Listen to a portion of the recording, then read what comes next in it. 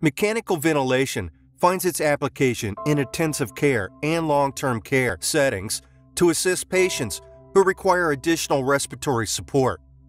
It is indicated for acute or chronic respiratory failure, which is defined as insufficient oxygenation, insufficient alveolar ventilation, or both. The benefits of mechanical ventilation are improved gas exchange and decreased work of breathing. Before providing the ventilator support to the patient, assess the condition of the patient and look at what kind of ventilatory support the patient requires. Assess for the oxygen requirement, carbon dioxide expiratory rates, and find out if the patient is suffering from diseases such as pneumonia, acute respiratory distress syndrome, obstructive problems like COPD, asthma, and ILD, or if the patient has septic shock. The mechanical ventilator has different modes of setting and fine-tuning is preferred based on the disease. The ventilator consists of a screen in which three different graphs are seen. The x-axis of the graph is time, and the y-axis has respiratory variables. The first variable is the pressure, and it is called the pressure time scalar. The second variable is the flow of the air or oxygen, and it is called flow time scalar. The last one depicts the volume, and it is called as volume time scalar. At the bottom line, we can see four variables on the ventilator screen, which include FiO2, positive end expiratory pressure, PEEP, respiratory rate, and tidal volume. The variables on the y-axis have different parameters. Pressure time scalar parameters include peak pressure, plateau pressure, mean airway pressure, and PEEP. Peak pressure is defined as the amount of pressure generated in airways after achieving the tidal volume. In other words, it represents the total pressure required to push a volume of gas into the lungs. The second one is the plateau pressure, which is the pressure achieved after delivering the tidal volume. Mean airway pressure typically refers to the mean pressure applied during positive pressure mechanical ventilation.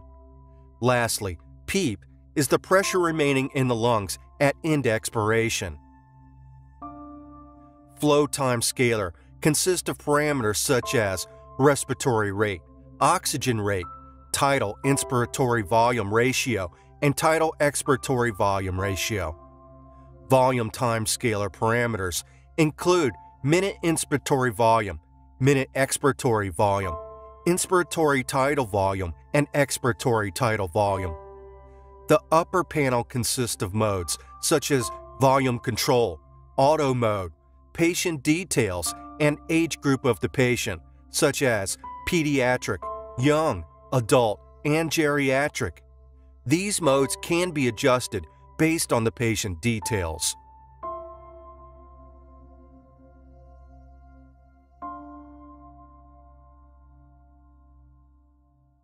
The basic ventilator modes include volume control or mode, pressure control or mode, pressure regulated volume control, PRVC, pressure support or continuous positive airway pressure, PS slash CPAP, volume support, VS, synchronized immediate mandatory ventilation along with pressure support, SIMV.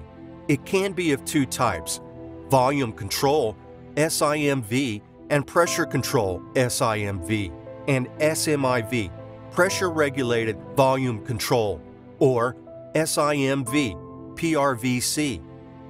BiVent and NAVA, both BiVent and NAVA, find its usage rarely. Selection mode depends on three conditions, such as the patient is being connected to the ventilator, the patient is maintained by using a ventilator, and when the ventilator is removed. Control modes designed to the patients who are unable to breathe. PRVC is also preferred in some of the cases when the patients are unable to breathe. Volume support and pressure support are given in patients who are recovering from a disease. They do not require higher modes, so the patient is kept on pressure mode or volume mode, and then slowly the ventilator is disconnected. Few patients cannot tolerate volume or pressure modes, so these modes are preferred depending on the patient's disease condition and the severity of the disease. SIMV is preferred when the patient is recovering from the disease and they cannot tolerate support mode. SIMV provides full support to present VT, volume controlled, or pressure limit, pressure controlled, for each ventilator generated breath. It is used to wean the patient from the ventilator. SIMV has three parameters, such as SIMV volume control plus pressure support, SIMV pressure control plus pressure support, and SIMV PRVC plus pressure support. The mode of SIMV is selected based on the patient condition and tolerability. Volume mode. Volume mode consists of four basic parameters such as tidal volume, respiratory rate, PEEP, oxygen concentration. Tidal volume is one of the important parameters which varies depending on the age of the patient, height of the patient, and disease states such as restrictive lung disease or obstructive lung disease. Respiratory rate defines the number of breaths taken per minute. When it is in normal condition, the respiratory rate is 14 to 15 beats per minute. But once the patient is connected, the ventilator rate is kept at a little high, which ranges between 20 to 22 beats per minute. The third parameter is the PEEP, which ranges from 5-1 OCM H2O. The last basic parameter is oxygen concentration. Oxygen concentration depends on the level of hypoxia, the severity of the respiratory failure. It is maintained at 100% in the initial assessment and is later adjusted based on the patient's severity. IE ratio, inspiratory expiratory ratio, refers to the ratio of inspiratory time, expiratory time. In normal spontaneous breathing, the expiratory time is about twice the inspiratory time. In the disease state, the IE ratio depends on the disease's state. If the patient is suffering from obstructive lung disease, then the IE ratio can go up to 1 to 4. If the patient is suffering from restrictive lung disease, then the IE ratio can decrease up to 1 to 1. If the patient is suffering from ARDS, the IE ratio can be up to 1 to 5, which means inspiration is prolonged than expiration. This ratio is called an inverse ratio. T-pause can be seen after the inspiration. It is 10% of the inspiratory time. With the help of T-pause, all the alveoli get equal pressure, and the patient with ARDS particularly requires pause. T inspiratory raise. It is the time at which the breath from the base delivers to the peak inspiratory pressure. It ranges from 1% to 5%. Trigger flow is the parameter that allows the patient to start the ventilation. This means that the initiation of the trigger takes the breath. Breaths can be triggered by timer. They occur at the set respiratory rate or frequency. Patient effort, patient-initiated breaths, occurs when the patient causes sufficient change in either the pressure or flow in the circuit. There are two triggers, flow trigger and pressure trigger. The breath is initiated when the pressure trigger and flow trigger reach below 1 and 4 liters respectively, and after that, the machine will start a breath. Basic parameters along the IE ratio, T-pause, T-inspiratory raise, and trigger flow is set according to the patient's condition, and the accept button is pressed. The important indication for a connecting ventilator is to provide the patient with comfortable breathing. After connecting to the ventilator, it is important to check whether the patient is able to breathe. If the patient complains about uneasy breathing, then adjust the parameters accordingly. Pressure mode. The other mode present in any kind of ventilator is pressure mode. During the pressure control mode, a certain pressure is created at the end inspiration and the end expiration so that the tidal volume is maintained. In this mode, there is no fixed volume, and the pressure-related parameters are fixed. Volume is decided based on patient lung compliance and lung resistance. Basic parameters for pressure mode include PC above the PEEP, which helps to find the tidal volume, which is being delivered to the patient. It ranges from 8 to 10 cm. Next is the respiratory rate, and it ranges from 18 to 22 beats based on the patient's condition. The third is the PEEP, and the normal baseline is 5. If the patient has a compliance problem, then the value may go up to 25. And if the patient has a resistance problem, then the range is set down to zero. The last one is the oxygen requirement. If the patient has severe hypoxia, oxygen concentration can set up to 60% to 100%. If the patient is recovering, it decreases the percentage to 50 or low based on the requirement.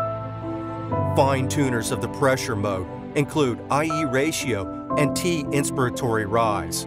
If the patient is suffering from obstructive lung disease, then the IE ratio can go up to 1 to 4. If the patient is suffering from restrictive lung disease, then the IE ratio can decrease up to 1 to 1. If the patient is suffering from ARDS, IE ratio can be up to 1 to 5, which means the inspiration is prolonged than the expiration. This ratio is called an inverse ratio. T inspiratory raise is the time at which the breath from the base delivers to the peak inspiratory pressure, and it ranges from 1% to 5% based on patient condition and can go up to 10%. Next is the pressure trigger, which includes the time and the patient effect. It can be set based on the requirement. After all the basic parameters are set, press the Accept button.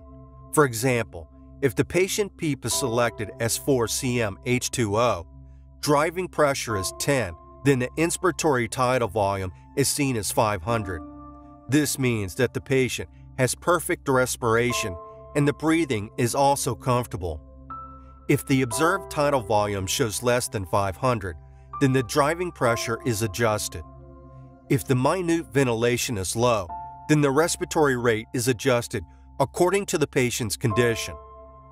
Pressure support or continuous positive airway pressure, PS slash CPAP.